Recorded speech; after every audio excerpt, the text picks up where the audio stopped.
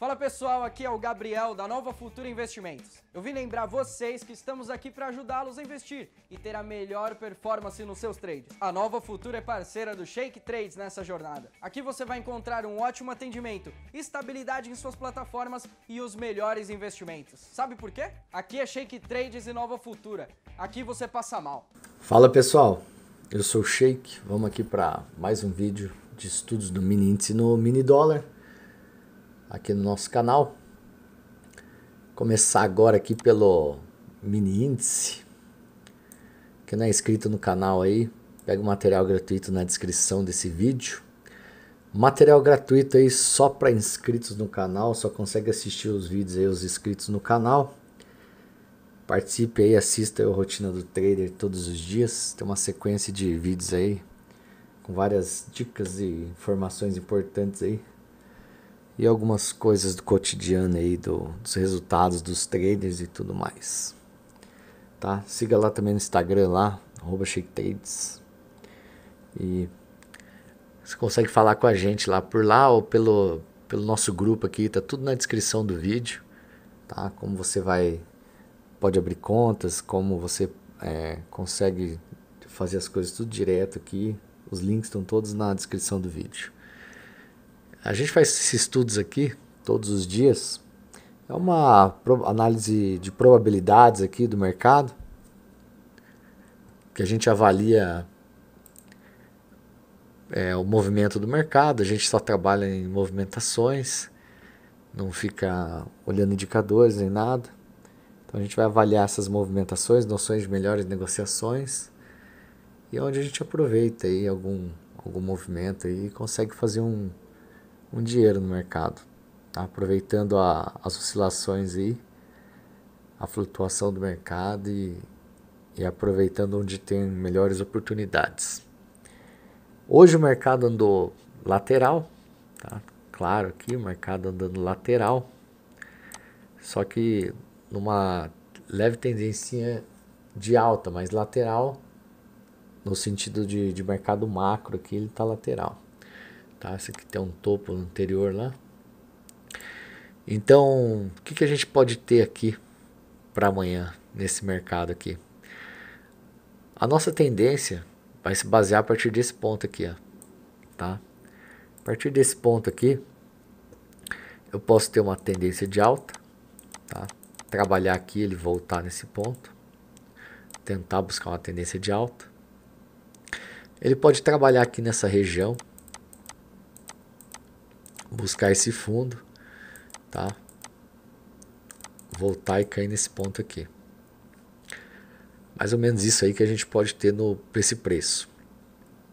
Se ele romper esse ponto aqui, ó, se ele romper esse ponto, a gente segue uma sequência de alta, tá? E vai buscando uma altinha nele aqui. Se ele perder esse fundo, temos ainda um, um, onde ele pode disputar aqui, tá? E onde ele pode disputar aqui a, a, essa lateralização e pode até romper esse fundo aqui e vir buscar abaixo aqui. Vou mostrar os pontos aqui para baixo aqui. Tá?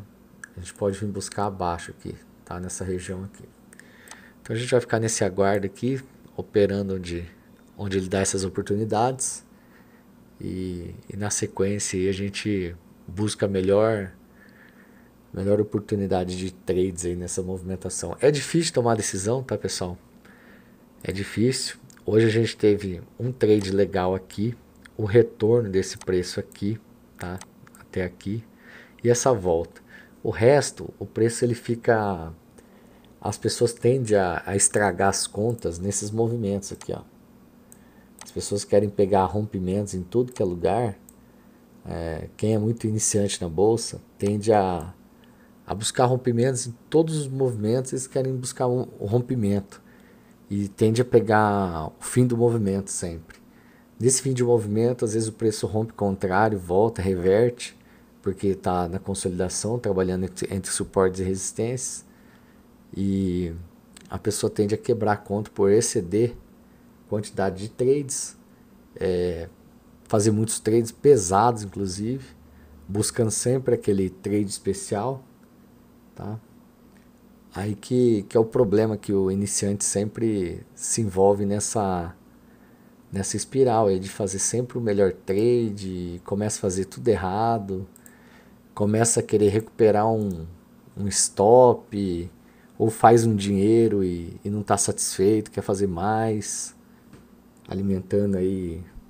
Não é nem questão de ganância, é falta de conhecimento mesmo, não, não tem essa, essa noção de fazer e parar, de acha que é muito fácil fazer dinheiro, às vezes faz fácil no começo ali, aí não consegue parar e acaba cometendo os equívocos operacionais aí que as pessoas normalmente é, cometem quando estão chegando aí no mercado. Tá, muitas, muitas pessoas não, não viram, inclusive, por causa disso, né? É, não tem essa parâmetros operacionais, não tem planejamento objetivo aí para estar tá operando, tá? Vamos dar uma olhada no dólar para ver como ele vai se comportar aqui também. No dólar aqui, pessoal, ele também ele, ele ficou lateral, né? Ele teve um rompimentinho aqui, deu alvo, ficou lateral. A gente esperou um, um padrão aqui. Eu tentei segurar um pessoal aqui. Quando ele deu um padrão, a gente, o padrão do bad boy, do trade longo, a gente pegou um trade longo aqui até o alvo final. O alvo final foi aqui, tá pessoal? Ele cravou o alvo final aqui. Esse foi o alvo do bad boy. Então a gente pegou um trade inteiro, tá? Fez uma proteção quando ele chegou neste ponto aqui, a gente podia fazer um parcial aqui para não deixar voltar nada e uma proteção nesse ponto aqui, ó. Nesse ponto aqui. Tá? Para poder esperar ele chegar lá.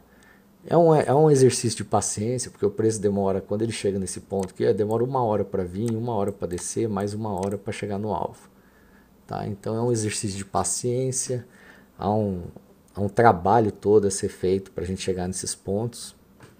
Tá? Então, para a pessoa também executar isso aqui, tá? é, existe um trabalho, uma aceitação, uma espera de, de alguns pontos. Tá?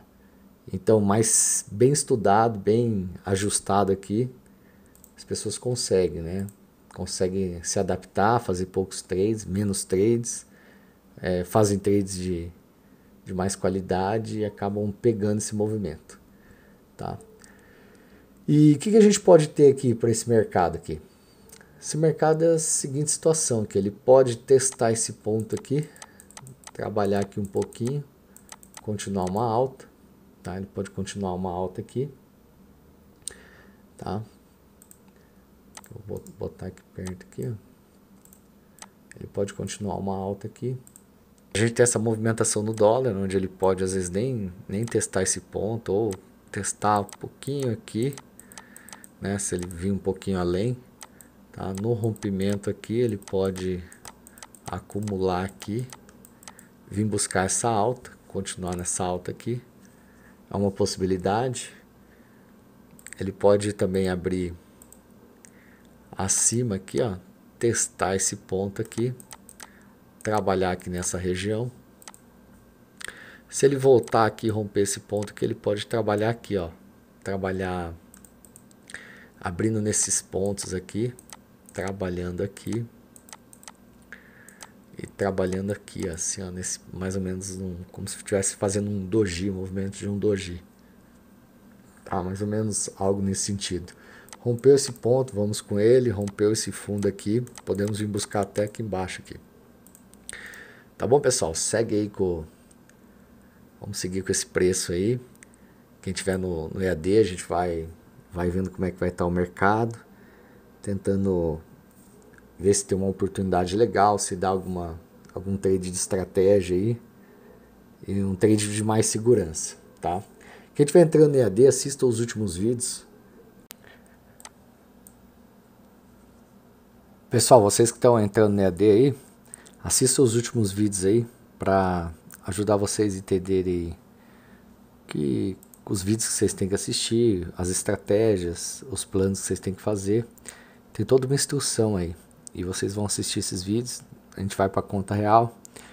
Vocês vão aprender a, a ver o mercado de outra forma, entender que você vai poder aos poucos fazer seu dinheiro e com responsabilidade, tá bom? Excelente semana para vocês aí. Valeu aí por estar tá assistindo aí, tá junto aí. Tamo junto. Um abraço e até a próxima, pessoal. Valeu.